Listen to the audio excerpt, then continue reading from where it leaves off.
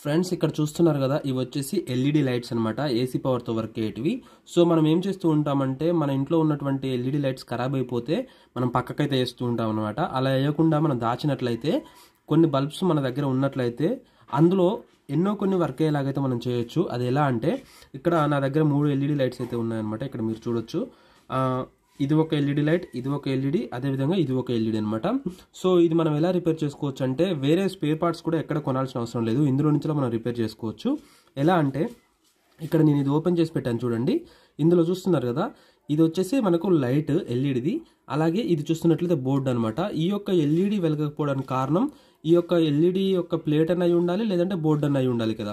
So ఇందులో చూసుకున్నట్లయితే మనకు ఇక్కడ చిప్ అయితే ఉంది కదా ఇది వచ్చేసి కాలిపోయింది అనమాట అంటే ఎల్ఈడి ఓకే ఉంది ఇందులో మనకు బోర్డు అయితే కాలిపోయింది అనమాట సో ఇందులో ఎల్ఈడి తీసుకొని ఇంకో బల్బ్లో చూసుకున్నట్లయితే మనకు బోర్డు ఓకే ఉంది.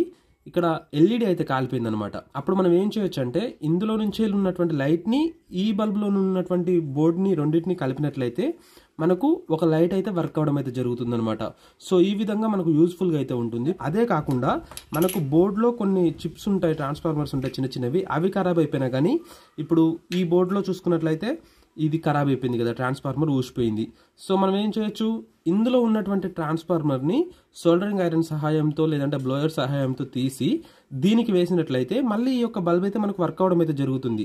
సో మన దగ్గర కొన్ని బల్బ్స్ స్టోర్ ఉంటే అందులో ఉన్నటువంటి పార్ట్స్ వాటికే మారుస్తూ అవి వెలిగేలాగైతే చేయొచ్చు అనమాట సో మనం పదే పదే బల్బ్స్ అనేది కొనాల్సిన అవసరం ఉండదు. సో ఇక్కడ చూసుకున్నట్లయితే ఇది రీసెంట్గా ఖరాబ్ అయిపోయింది. ఇవన్నీ నేను అట్లనే ఖరాబ్ అయిపోయినప్పుడల్లా మారుస్తూ ఉంటానన్నమాట. సో వీడియో చేస్తే బాగుంటుందని చెప్పేసి నేను ఇప్పుడు వీడియో అయితే చేస్తున్నాను. సో ఇక్కడ ఇది మళ్ళీ రీసెంట్గా ఖరాబ్ అయిపోయింది అనమాట ఇది వచ్చేసి బజాజ్ నుంచి వెళ్ళి ఆల్రెడీ ఇది మార్చింది అనమాట సో ఇప్పుడు నా దగ్గర సోల్డరింగ్ ఐరన్ లేదు కాబట్టి ఇది తీయడానికి పాసిబుల్ కాకపోతే నేను ఇక్కడ పగలగొట్టాను. సో ఇక్కడ చూసినట్లయితే ఇందులో ఎల్ఈడి ప్యానల్ అయితే మనకు ఒకేలాగానే కనిపిస్తుంది. అదేవిధంగా బోర్డు కూడా మనకు ఎక్కడ డ్యామేజ్ అయినట్టయితే కనిపించట్లేదు. దీనికి ఉన్నటువంటి కెపాసిటర్స్ కానీ ఈ యొక్క బ్లాక్ రెడ్ వైర్స్ కానీ అన్నీ ఒకేలాగానే ఉన్నాయి. సో ఇప్పుడు మనం ఏం చేద్దామంటే ఈ యొక్క బల్బుకి ఉన్నటువంటి ఎల్ఈడి ప్యానల్ని మార్చి మన దగ్గర ఇంకా రెండైతే ఎక్స్ట్రాగా ఉన్నాయి కదా ఈ రెండు వర్కింగ్ కండిషన్ అనమాట ఇందులో ఒక్కొక్కటిగా పెట్టి దీనికి చెక్ చేద్దాం. ఇందులో ఏదైనా వర్క్ అవుతే మనకు బోర్డు ఓకే ఉన్నట్టు లేదంటే లేదన్నట్టు. ఓకే ఒక బల్బులోని ఎల్ఈడి ప్యానల్ తీసుకున్నాను. వీటికి ఉన్నటువంటి ప్లస్ మైనస్ కరెక్ట్గా చూసుకొని ఈ యొక్క ప్లస్ మైనస్ని కరెక్ట్గా అటాచ్ అయితే చేసుకోవాలి. ప్రజెంట్ నా దగ్గర సోల్డరింగ్ ఐరన్ అవైలబుల్గా లేదు కాబట్టి ఈ విధంగా అటాచ్ చేస్తున్నాను.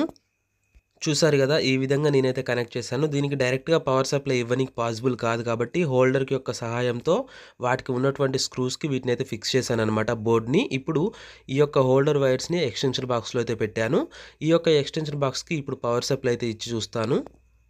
ఫ్రెండ్స్ నేనైతే ఇప్పుడు పవర్ సప్లై అయితే ఇచ్చాను. అయినప్పటికీ ఈ యొక్క ఎల్ఈడి ప్యానల్ అయితే ఎలగలేదు అంటే ఈ యొక్క ప్యానల్లో ప్రాబ్లం ఉందని చెప్పేసి.